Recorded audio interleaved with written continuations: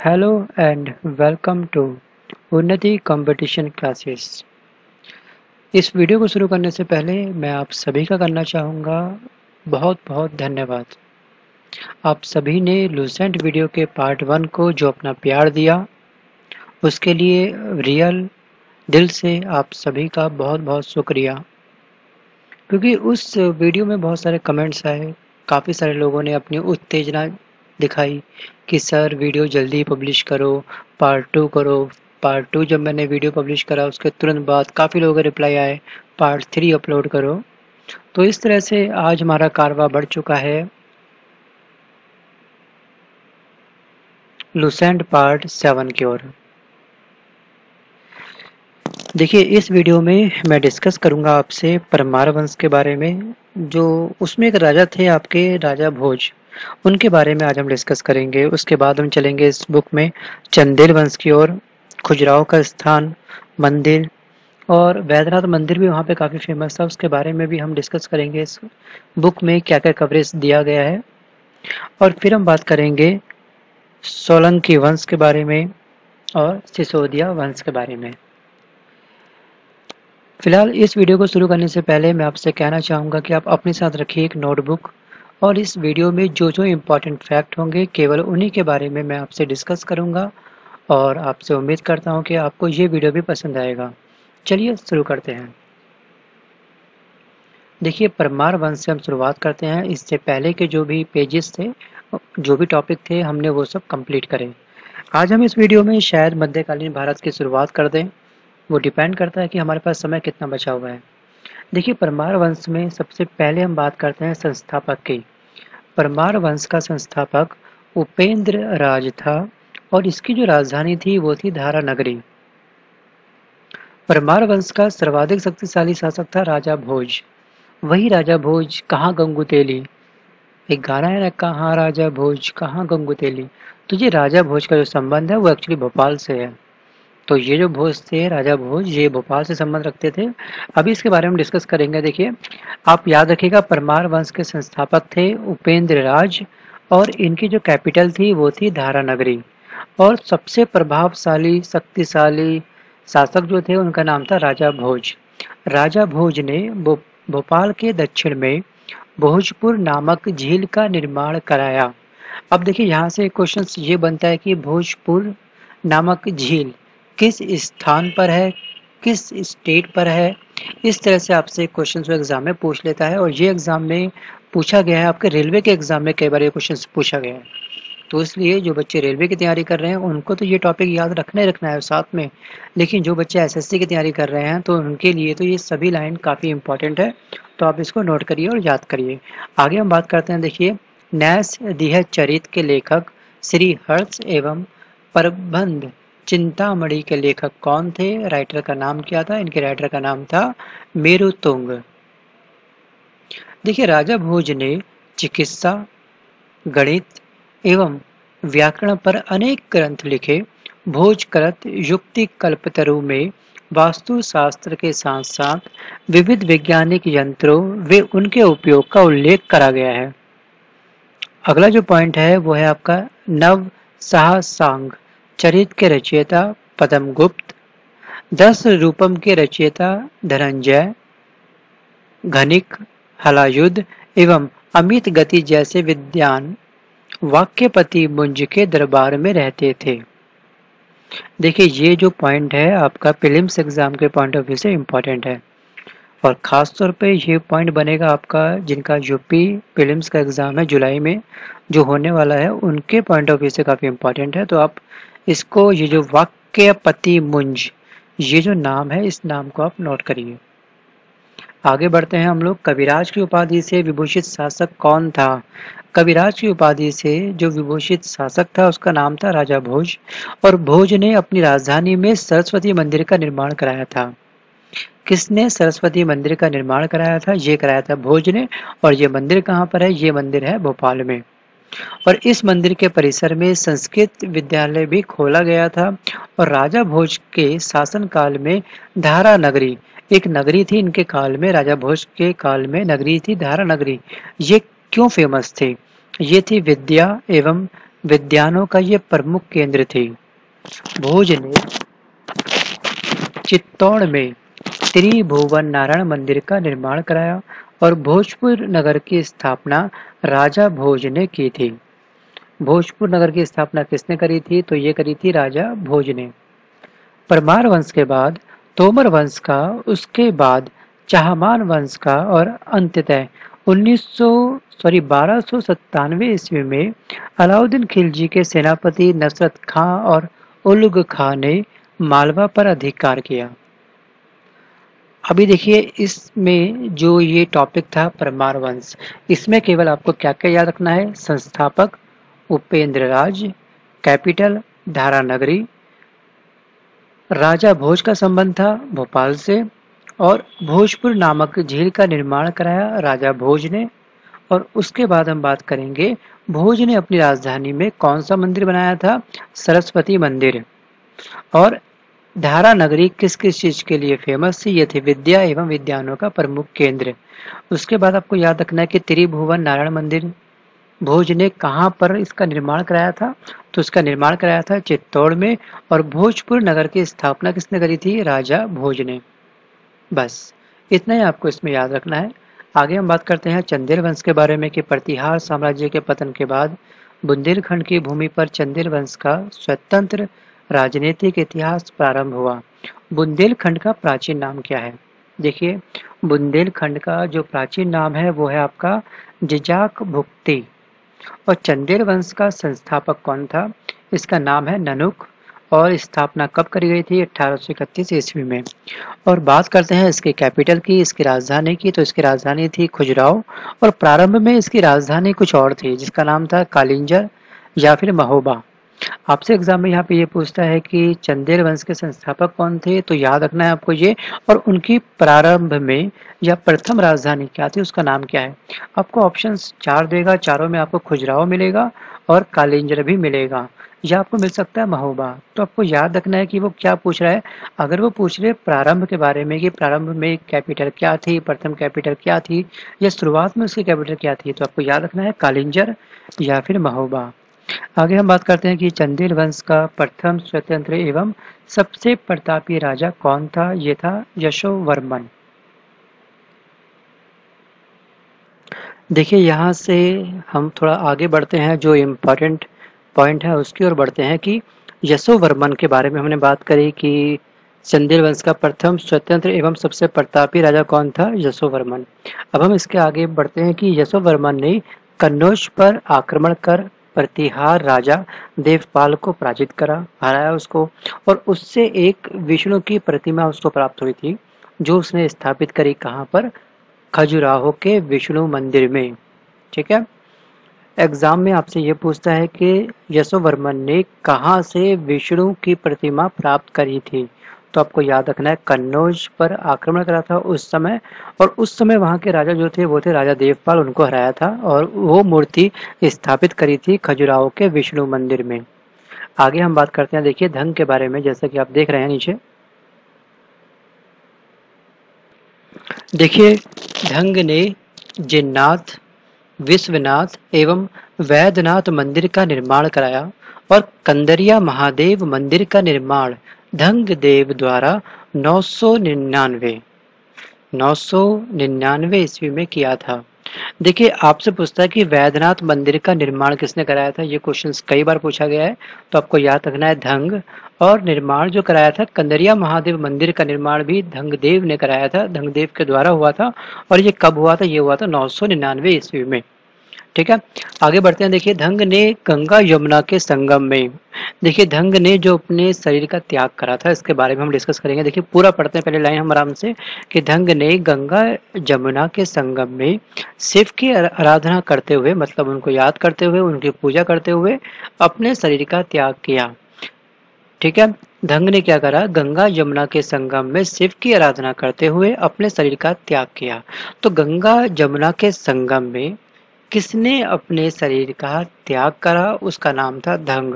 और वो किसकी आराधना कर रहा था, किसकी पूजा कर रहा था? वो कर रहा था शिव की। ठीक है? देखिए, आगे और भी जो पॉइंट है उसके बाद चंदेल विद्याधर तो ये सब पॉइंट इतने इंपॉर्टेंट नहीं है तो मैं इसलिए इस पॉइंट को स्किप करूँगा। मैं केवल उन्हीं टॉपिक के बारे में डिस्कस कर रहा हूँ, जो आपके एग्ज़ाम में कई बार पूछा गया है एसएससी एग्ज़ाम में। ठीक है? आगे हम बात करते हैं कि चंदेल शासक कीर्ति वर्मन की राज्यसभा में रहने वाले कृष्ण मिश्र ने प्रबोध चंद्रोदय की रचना की थी। इन्होंने महोबा के समीप कीर्ति सागर नामक जलाशय का निर्माण किया था। कीर्ति सागर नामक जलाशय का निर्माण किसने करा था और कहाँ करा था? सवाल यहाँ पे ये बनता है, ये जो करा था, महोबा के समीप करा था कीर्ति सागर नामक जलाशय का निर्माण और किसने करा था? चंदेल शासक कीर्ति वर्मन के राज्यसभा में रहने वाले कृष्ण मिश्र ने। ठीक है? कृष्ण मिश्र ने ये करा था मतलब जलाशय का निर्माण करा था। आगे हम बात करते हैं, देखिए, अल्लाह, उदल नामक दो सेना नायक। परमिर्द देव के दरबार में रहते थे, जिन्होंने पृथ्वीराज चौहान के साथ युद्ध करते हुए अपनी जान गंवाई थी। अगला जो पॉइंट है, वो ये है कि चंदेल का अंतिम शासक कौन था? उसका नाम क्या है? तो उसका नाम था परम मृदि देव। ने 1202 में कुतुबुद्दीन ऐबक की अधीनता स्वीकार कर ली। इस पर उसके मित्र अजय देव ने उसकी हत्या कर दी। आगे बात करते हैं हम सोलंकी वंश के बारे में अथवा या फिर गुजरात के चालुक्य शासक के बारे में। देखिए, सोलंकी वंश के बारे में बात करी जाए तो संस्थापक कौन थे? हमको ये याद रखना है। संस्थापक थे इनके मूल राज प्रथम और इनकी राजधानी थी अनहिलवाड़ और मूल राज प्रथम शैव धर्म का अनुयायी था। भीम प्रथम के शासन काल में महमूद गजनी ने सोमनाथ के मंदिर पर आक्रमण किया। भीम प्रथम के सामंत बिमल ने आबू पर्वत पर दिलवाड़ा का प्रसिद्ध जैन मंदिर बनवाया था। दिलवाड़ा का प्रसिद्ध जैन मंदिर किसने बनवाया था? तो ये नाम आपको याद रखना है। भीम प्रथम के सामंत बिबल ने आबू पर्वत पर। ठीक है, ये कहाँ पर है? ये है राजस्थान में। ठीक है? तो दिलवाड़ा का प्रसिद्ध जैन मंदिर बनवाया था। आगे हम बात करते हैं कि सोलंकी वंश का प्रथम शक्तिशाली शासक कौन था? उसका नाम क्या? उसका नाम था जय सिंह सिद्धराज और प्रसिद्ध जैन विद्वान हेमचंद जय सिंह सिद्धराज के दरबार में था। आगे हम बात करते हैं, देखिए, माउंट आबू पर्वत, जैसा कि मैंने आपको बताया, राजस्थान में है ये। तो माउंट आबू पर्वत पर एक मंडप बनाकर जयसिंह सिद्धराज ने अपने सातों पूर्वजों के गजारोही मूर्तियों की स्थापना करी। मतलब वो क्या थे? उसके जो भी सातों पूर्वज थे, उनकी एक प्रतिमा बनाई, एक मूर्ति बनाई और उन सबको क्या करा? एक गजारोही मतलब कि हाथी की प्रतिमा के ऊपर उन सभी अपने सातों पूर्वजों को दादा वादा इन लोगों को बिठा करके रखा। तो आज भी अगर आप जाते हैं राजस्थान, जैसे एरिया में माउंट आबू में जाते हैं तो वहाँ पे आपको इस टाइप का मंडप जो जयसिंह ने, सिद्धराज ने अपने सातों पूर्वजों का बनाया था तो वो साफ़ साफ़ आपको दिखाई देगा बड़े आराम से। काफ़ी क्लीन एरिया है। अगर आप वहाँ पे रहते हैं तो कभी जाके देखना, वहाँ पे आपको पता चल जाएगा। आगे हम बात करते हैं, देखिए मोडेरो का सूर्य मंदिर का निर्माण सोलंकी राजाओं के शासनकाल में हुआ था और सिद्धपुर में रुद्र महाकाल के मंदिर का निर्माण जयसिंह सिद्धराज ने किया था। सोलंकी शासक कुमार पाल जैन मतानुयायी था। वह जैन धर्म के अंतिम राजकीय प्रवर्तक के रूप में प्रसिद्ध हुआ। और सोलंकी वंश का अंतिम शासक कौन था? तो ये थे भीम द्वितीय। याद रखिएगा, भीम सेकंड। आगे हम बात करते हैं कि भीम सेकंड के एक सामंत लवण प्रसाद ने गुजरात में बघेल वंश की स्थापना करी। बघेल वंश की स्थापना किसने करी? भीम सेकंड के एक सामंत लवण प्रसाद ने गुजरात में करी थी बघेल वंश की स्थापना। और बघेल वंश का कर्ण सेकंड गुजरात का अंतिम हिंदू शासक था और इसने अलाउद्दीन खिलजी की सेनाओं का मुकाबला किया था। आगे हम बात करते हैं, देखिए। कलचूरी चेदी राजवंश। कलचूरी वंश का संस्थापक कोकल था और इसकी राजधानी थी त्रिपुरी। और कलचुरी वंश का एक शक्तिशाली शासक गांगे देव था और जिसने विक्रमादित्य की उपाधि धारण की थी। पूर्व मध्यकाल में स्वर्ण सिक्कों के विलुप्त हो जाने के पश्चात इन्होंने सर्वप्रथम इसे प्रारंभ करा था। आगे अगला जो पॉइंट है वो है कलचुरी वंश। सबसे महान शासक जो था, वो था आपका कर्णदेव।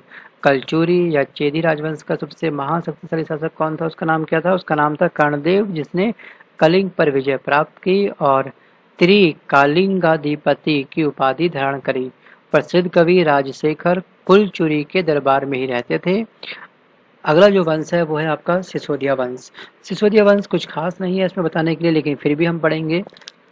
कि सिसोदिया वंश के शासक अपने को सूर्यवंशी कहते थे। कौन से वंश के शासक अपने आप को सूर्यवंशी कहते थे? तो वो थे सिसोदिया वंश और सिसोदिया वंश का शासक जो था, मेवाड़ पर शासन करते थे और मेवाड़ की राजधानी थी उस समय चित्तौड़। और अपनी विजय के उपलक्ष्य में विजय स्तंभ का निर्माण कराया था।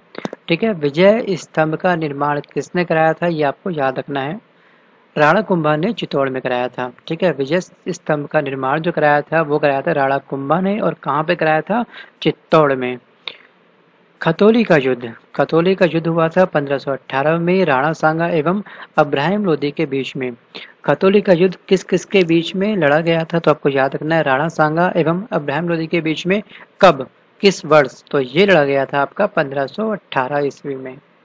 देखिए अब हम बात करते हैं मध्यकालीन भारत की।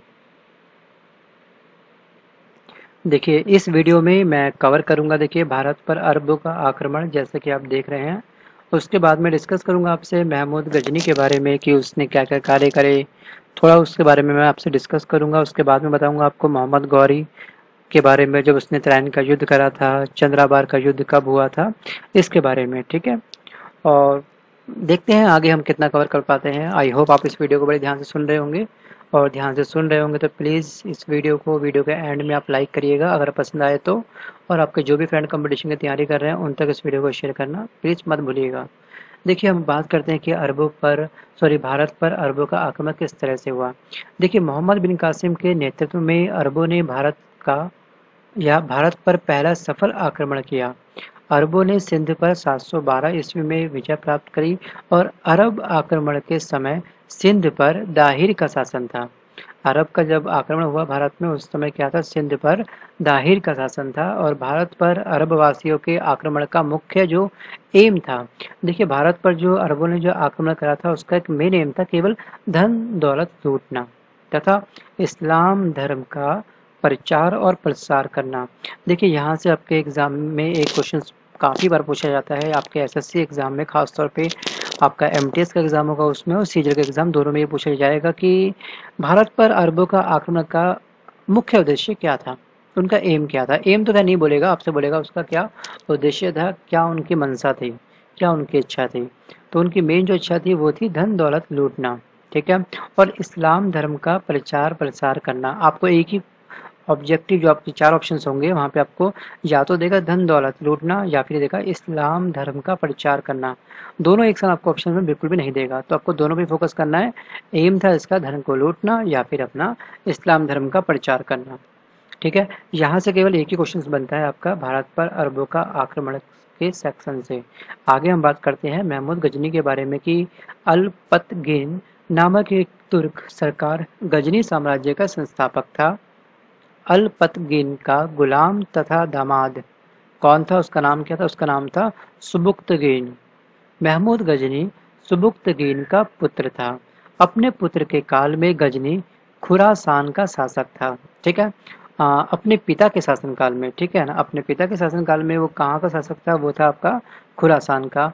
महमूद गजनी 27 वर्ष की अवस्था में नौ सौ ईस्वी में गद्दी पर बैठा था 1997 में।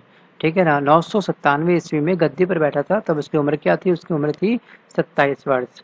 बगदाद का खलीफा उल आदिर बिल्ला ने महमूद गजनी के पद को मान्यता प्राप्त करते हुए उसे एक उपाधि दी थी। एक नहीं, बल्कि उसको उपाधि मिली थी दो। आप याद रखिएगा, दो उपाधि। दोनों उपाधि कौन सी थी? एक का नाम था यमीन उद्दौला यमीन उद्दौला और सेकंड जो उपाधि का नाम था वो था आपका यमीन उल मिलहा, यमीन उल मिलहा। आपसे एग्ज़ाम में ये पूछता है कि यमीन उद्दौला और यमीन उल मिलहा की उपाधि किसको प्राप्त थी? ठीक है तो आपको ये नाम याद रखना है। आगे बात करते हैं कि महमूद गजनी ने सर्वाधिक भारत पर आक्रमण करा था। ठीक है, और ये सी में कई बार पूछा भी गया है कि महमूद गजनी ने भारत पर कुल कितनी बार आक्रमण करा? तो आपको याद रखना है, सत्रह बार सेवनटीन टाइम्स आगे महमूद गजनी ने भारत पर जो पहला जो आक्रमण करा था, वो कब कर, कब करा था? 1001 ईस्वी में। आपको ये जो वर्ष याद रखना है, ये वर्ष काफ़ी अच्छा है कि कहीं हम जाते हैं शादी ब्याह में, किसी के मैरिज में तो हम, वहाँ पे हम टीका लगाते हैं। तो वहाँ हम टीका कितने का लगाते हैं? एक हज़ार एक का। ठीक है? एक हज़ार एक का जो टीका लगाता था, वो क्या लगाता था? महमूद गजनी भारत की मैरिज अटेंड करते समय। ठीक है? ये छोटा सा एक लिंक है जो मैं आपको याद करने के माध्यम से आपको मैं इस तरह से समझा रहा हूँ, ठीक है? याद रखना, महमूद गजनी ने भारत पर आक्रमण करा था एक हज़ार एक ईस्वी में और यह आक्रमण शाही राजा जयपाल के विरुद्ध था। इसमें जयपाल की पराजय हुई, महमूद गजनी ने भारत पर आधिपत्य अपना स्थापित कर लिया, अपना साम्राज्यवाद स्थापित कर लिया और ये कब करा था? ये कब ये कब करा था? तो ये करा था आपका एक हज़ार एक ईस्वी में। महमूद गजनी का 1008 ईस्वी में नगरकोट के विरुद्ध हमले को मूर्तिवाद के विरुद्ध पहली महत्वपूर्ण जीत बताई गई है। महमूद गजनी ने थानेसर के चक्र स्वामीन की कांस्य निर्मित आदम कद प्रतिमा को गजनी भेजकर रंगभूमि में रखवाया। ठीक है? आप याद रखना कि चक्र स्वामीन की यह मूर्ति थी ठीक है कांस्य से बनी थी और आदम कद प्रतिमा को गजनी भेजकर रंग भूमि में रखवाया। ठीक है? अगला जो पॉइंट है, वो है महमूद गजनी का सबसे चर्चित जो आक्रमण है, वो है 1024 में उसने उसने एक आक्रमण करा था, सोमनाथ मंदिर, जो कहाँ पर है? सौराष्ट्र पर हुआ। इस मंदिर की लूट में उसे 20 लाख दिनार की संपत्ति हाथ लगी। ग्रीन से मैंने इसको हाईलाइट कर रखा है। कितनी संपत्ति इसको प्राप्त हुई? तो इसको संपत्ति प्राप्त हुई 20 लाख दिनार, ठीक है? और सोमनाथ की रक्षा में सहायता करने के कारण अनहिलवाड़ा के शासक पर महमूद ने आक्रमण किया। सोमनाथ मंदिर लूट लूट लूटा उसने और लूट कर ले जाने के क्रम में महमूद पर जाटों ने आक्रमण किया था। महमूद के ऊपर जाट जो लोग थे, उन सबने उसके ऊपर आक्रमण किया और कुछ संपत्ति उससे लूट ली। मतलब महमूद गजनी ने जो ये करा था, दिनार प्राप्त करी थी मंदिर लुटा था तो जाटों ने उसके ऊपर धावा बोल दिया और उससे कुछ उसकी संपत्ति छीन ली। महमूद गजनी का अंतिम भारतीय जो आक्रमण था, आखिरी जो उसका आक्रमण था, वो था एक हज़ार सत्ताईस में जाटों के विरुद्ध, ठीक है? और पहला कब था? पहला मैंने अभी आपको बताया था तो ये था आपका एक हज़ार एक में। और लास्ट था इसका एक हज़ार सत्ताईस में।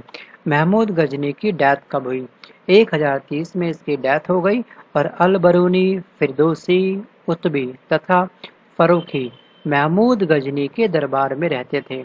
यहाँ पे जो इम्पोर्टेंट जो नाम है, वो है आपका अल बरूनी किसके दरबार में रहता था। आपसे ये कई बार पूछा गया एग्ज़ाम में तो ये नाम आपको याद रखना है। अल बरूनी जो था, महमूद गजनी के दरबार में रहता था। देखिए, इसमें से मैं आपको दोबारा कुछ रिपीट कराना चाहूँगा।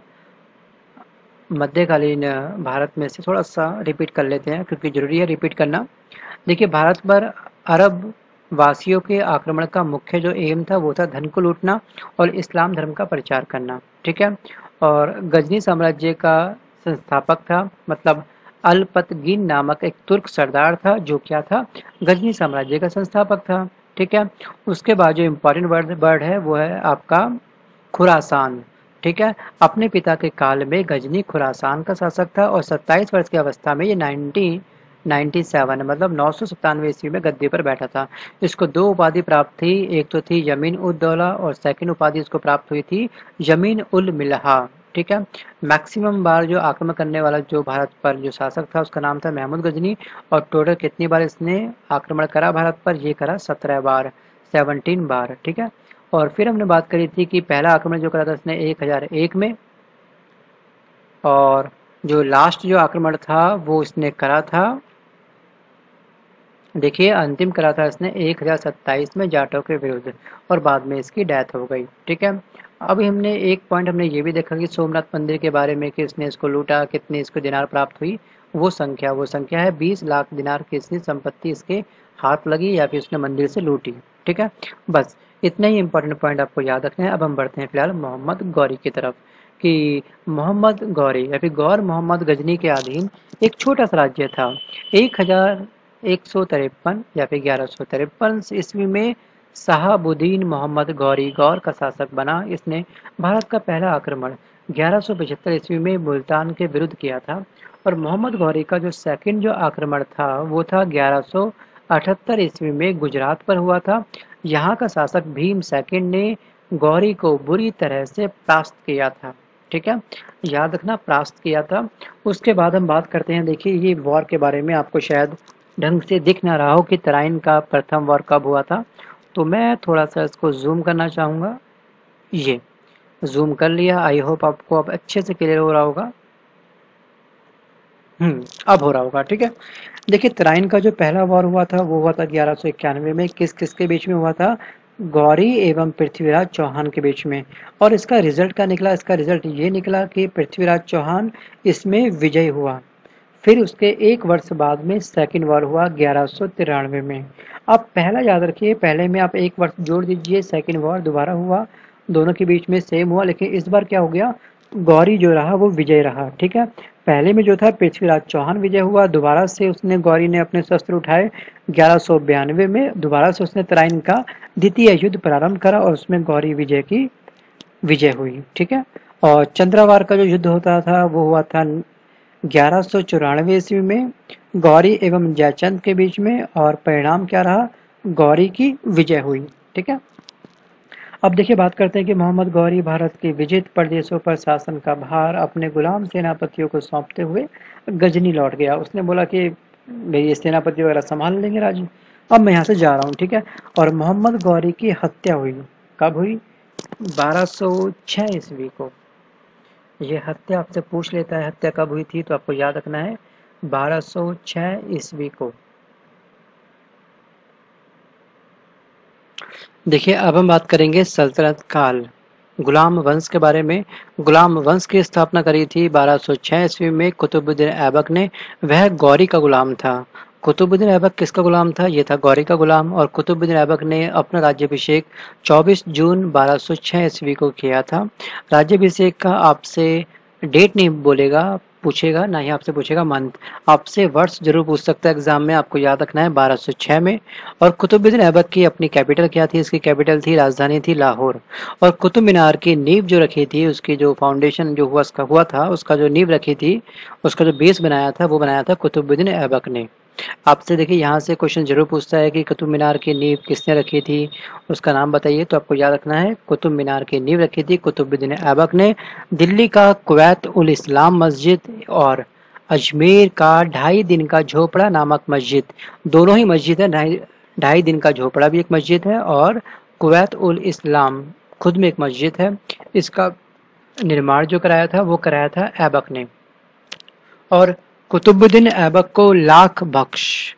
लाख बख्श मतलब लाखों का दान देने वाला, ठीक है? ये इंसान क्या था? ये दानी बहुत था, गरीबों की बहुत सेवा करता था, गरीबों को बहुत दान देता था छोटी बातों पर लाखों को क्या करता था? लुटा देता था गरीबों के ऊपर। तो ये इंसान काफ़ी अच्छा था, कुतुबुद्दीन ऐबक इतना बुरा नहीं था। तो आप याद रखिएगा, कुतुबुद्दीन ऐबक मतलब लाख रुपीज़। ठीक है, इसको लाख बख्श भी कहा जाता है।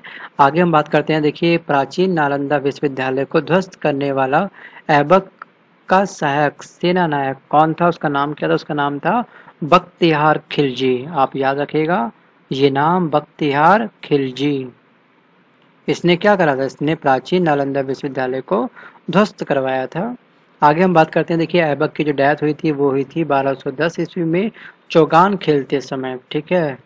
चौगान मतलब पोलो खेलते समय आपसे एग्ज़ाम में पूछता है कि चौगान खेलते समय किसकी डेथ हुई थी? तो उसकी डेथ जो हुई थी वो हुई थी ऐबक की और कब हुई थी? 1210 में।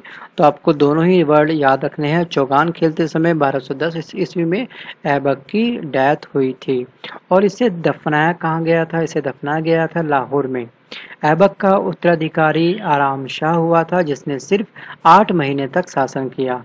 और आराम शाह की हत्या करके इल्तुतमीज़ 1211 ईस्वी में दिल्ली की गद्दी पर बैठा।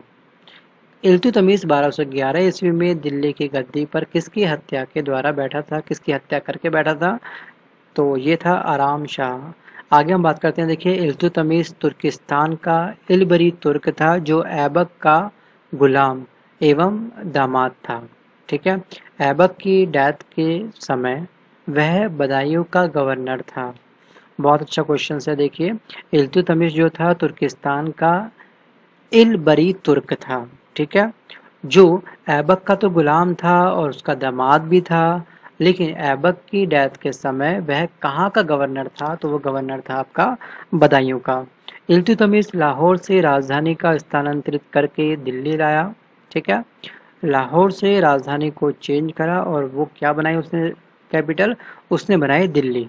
और इल्तुतमिश पहला शासक था जिसने बारह ईस्वी में बगदाद के खलीफा से सुल्तान पद की वैधानिक स्वीकृति प्राप्त की।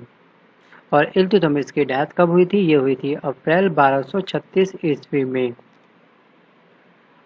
देखिए, इल्तुतमिश के बाद उसका पुत्र जो था, उसका नाम था रुकुनुद्दीन फिरोज। गद्दी पर बैठा वह एक अयोग्य शासक था, ठीक है? वो पढ़ा लिखा नहीं था, बिल्कुल अनपढ़ था, उससे कोई नॉलेज नहीं थी युद्ध के बारे में। इसके अल्पकालीन शासन पर उसकी माँ शाह तुर्कान छाई रही। मतलब कि नाम को तो बेटा बैठ गया सीट पर, ठीक है? इल्तुतमिश के बाद में। लेकिन उसको युद्ध के बारे में कोई भी नॉलेज नहीं थी, लेकिन उसकी माँ ने, ठीक है, पूरा राजपाट संभाला। युद्ध की पूरी रूपरेखा जो बनती थी, वो संभाली। सेनापति से जो भी डिस्कस करती थी, वो उसकी माँ करती थी, ठीक है ना?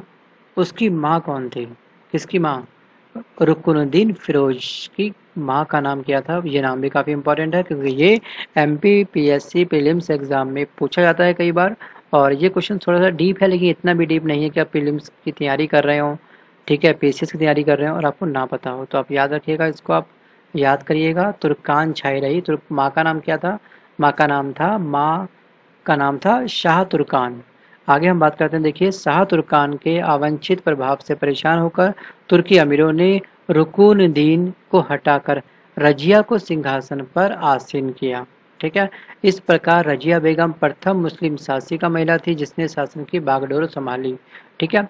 एक्चुअली ये जो रजिया बेगम थी, ये इल्तुतमिश की ही पुत्री थी। ठीक है? इल्तुतमिश का एक पुत्र था जो, उसकी मृत्यु के बाद में बाय डिफ़ॉल्ट गद्दी उसी को प्राप्त होती। ठीक है? लेकिन ये गद्दी पे ज़्यादा चल नहीं पाया। तो क्या करा? समाज ने ये बोला, भाई इसको नॉलेज तो कुछ है नहीं, इसको हटाओ यहाँ से। तो उसने बोला, सिंपल, ठीक है इल्तुतमिश की पुत्री शायद ज़्यादा समझदार है तो इसको बैठाते हैं हम गद्दी पर, ठीक है? तो याद रखिएगा, रजिया बेगम प्रथम मुस्लिम महिला शासक थी, जिसने शासन की बागडोर संभाली। आपसे एग्ज़ाम में ये पूछता है कि प्रथम मुस्लिम महिला शासक का नाम बताइए। प्रथम मुस्लिम महिला शासक का नाम बताइए, कौन था? ठीक है तो ये कौन थी? तो आपको चार ऑप्शन देगा, आपको नाम रखना है, रजिया बेगम, ठीक है? अब रजिया ने क्या करा?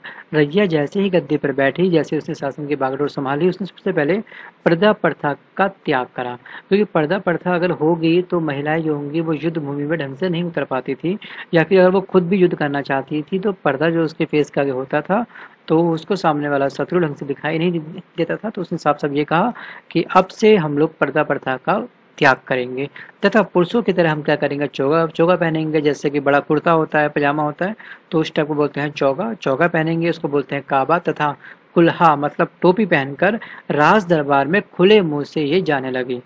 ठीक है? ये पहली महिला जो थी, प्रथम मुस्लिम महिला थी, और इसने सबसे पहले पर्दा, प्रथा को त्याग करके पुरुषों की तरह नॉर्मली जो होता है, चौगा पहन करके और टोपी सर पर पहन करके राजदरबार में खुले मुँह जाने लगी, ठीक है?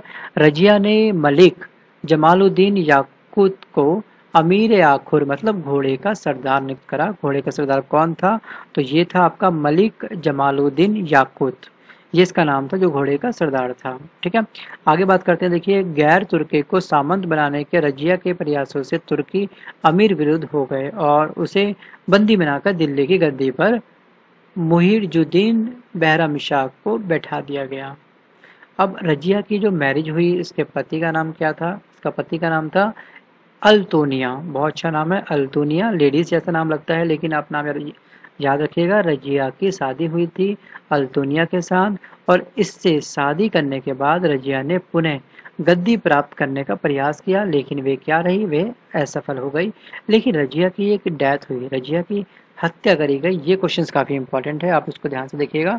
रजिया की जो हत्या करी गई थी, वो करी गई थी 13 अक्टूबर 1240 ईस्वी को डाकुओं के द्वारा कैथल के पास करी थी, ठीक है ना? रजिया की हत्या कब और कहाँ पे हुई थी, आपसे एग्ज़ाम में ये पूछ सकता है तो आप याद रखिएगा 13 अक्टूबर 1240 ईस्वी को कैथल में, ठीक है? बहरम शाह को बंदी बनाकर उसकी हत्या मई 1242 ईस्वी में कर दी गई। बहरम शाह के बाद दिल्ली का सुल्तान अलाउद्दीन मसूद शाह 1242 ईस्वी में बना। लेकिन बलबन ने षडयंत्र के द्वारा 1246 ईस्वी में अलाउद्दीन मसूद शाह को सुल्तान के पद से हटा दिया, ठीक है? और नसरुद्दीन महमूद शाह को सुल्तान बना दिया।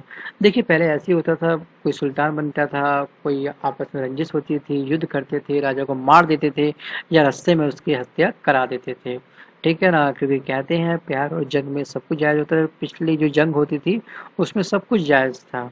अब हम बात करते हैं, देखिए, बलबन ने अपनी पुत्री का विवाह जो करा था, वो किसके साथ करा था? वो कराया था नसरुद्दीन महमूद के साथ में। बहुत प्यारा क्वेश्चन है कि बलबन ने अपनी पुत्री का विवाह किसके साथ कराया था? उसका नाम क्या था? उसका नाम था नसरुद्दीन महमूद। आगे हम बात करते हैं, देखिए, बलबन का वास्तविक नाम क्या था? इसका रियल जो नेम था, या फिर बचपन का नाम क्या था? वास्तविक नाम क्या था? तो उसका नाम था बाहुद्दीन वह इल्तुतमिश का गुलाम था। तुर्कान ए चिहलगानी का विनाश किसने किया था? तो ये करा था बलबन ने। याद रखिएगा, मैं आगे रिपीट कर रहा हूँ कि तुर्कान ए चिहलगानी का विनाश बलबन ने किया था और बलबन बारह सौ छियासठ ईस्वी में गयासुद्दीन बलबन के नाम से दिल्ली की गद्दी पर बैठा था। कौन गयासुद्दीन बल, बलबन के नाम से दिल्ली की गद्दी पर बैठा था? तो ये बैठा था बलबन। बलबन का एक अन्य नाम क्या था? गयासुद्दीन बलबन। कब बैठा था? बारह में। तो आपको ये तीनों चीज़ें याद रखनी है। एक तो ये वर्ष, बारह और सेकंड आपको याद रखना है गयासुद्दीन बलबन के नाम से दिल्ली की गद्दी पर बैठा था। ठीक है? यह मंगोलों के आक्रमण से दिल्ली की रक्षा करने में सफल रहा। राज दरबार में सिजदा एवं पैबोस प्रथा की शुरुआत बलबन ने की थी। ठीक है? सिजदा और पैबोस प्रथा की शुरुआत किसने करी थी? तो ये करी थी बलबन ने। राइट? आगे बढ़ते हैं, देखिए। बलबन ने फारसी रीति रिवाज पर आधारित नवरोज उत्सव का प्रारंभ करा था। ये एक फेस्टिवल था तो ये फेस्टिवल नवरोज उत्सव का प्रारंभ किसने किया था? तो ये करा था बलबन ने। देखिए, अगला जो पॉइंट है वो है कि अपने विरोधियों के प्रति बलबन ने कठोर लोह एवं रक्त की नीति का पालन किया था। और नसरुद्दीन महमूद ने बलबन को उल्लुंग खां की उपाधि प्रदान की थी, ठीक है? नसरुद्दीन महमूद ने बलबन को ये उपाधि दी थी, ठीक है? उलुंग खां की उपाधि किसको प्राप्त थी? तो ये थी बलबन को। और किसने दी थी? ये दी दी थी नसीरुद्दीन महमूद ने। आगे बात करते हैं, देखिए, बलबन के दरबार में फारसी के प्रसिद्ध कवि थे अमीर खुसरो एवं अमीर हसन। अमीर खुस, खुसरो फारसी के प्रसिद्ध जो कवि थे, किसके दरबार में थे तो ये थे बलबन के। याद रखिएगा, दोनों नाम काफ़ी फ़ेमस है, अमीर खुसरो और अमीर हसन। अब हम बात करते हैं गुलाम वंश का अंतिम शासक कौन था? उसका नाम क्या था? उसका नाम था समुद्दीन कैमूर्स। याद रखेगा समुद्दीन कैमूर्स। काफ़ी अच्छा नाम है ये और काफ़ी इम्पोर्टेंट नाम है। बच्चों आज के इस वीडियो में बस केवल इतना ही। आगे हम वीडियो में बात करेंगे कुछ नए टॉपिक के साथ में। देखिए, ये जो वीडियो मैं लेके आ रहा हूँ आपके सामने, ये पेज बाय पेज है। कोई भी पेज इसमें स्किप नहीं है। और धीरे धीरे करके मैं साइंस भी कवर करूँगा जोग्राफ़ी भी कवर करूँगा, लेकिन एक सीरीज़ के साथ ही मैं ख़त्म करूँगा। जैसे जैसे ये बुक चलती रहेगी आगे वैसे वैसे वीडियो आपके बनते रहेंगे। आपका साइंस का टॉपिक होगा या फिर जोग्राफी का टॉपिक होगा, वो उसके बुक उस इस बुक के अकॉर्डिंग ही आपको मिलेगा। तो इसी के साथ मैं लेता हूँ आपसे अलविदा। अगर आपको ये वीडियो पसंद आया हो तो प्लीज़ इसको लाइक करिएगा और आपके जो भी फ्रेंड कंपटीशन की तैयारी कर रहे हैं, उन तक इस वीडियो को शेयर ज़रूर करिएगा। Bye bye take care and all the best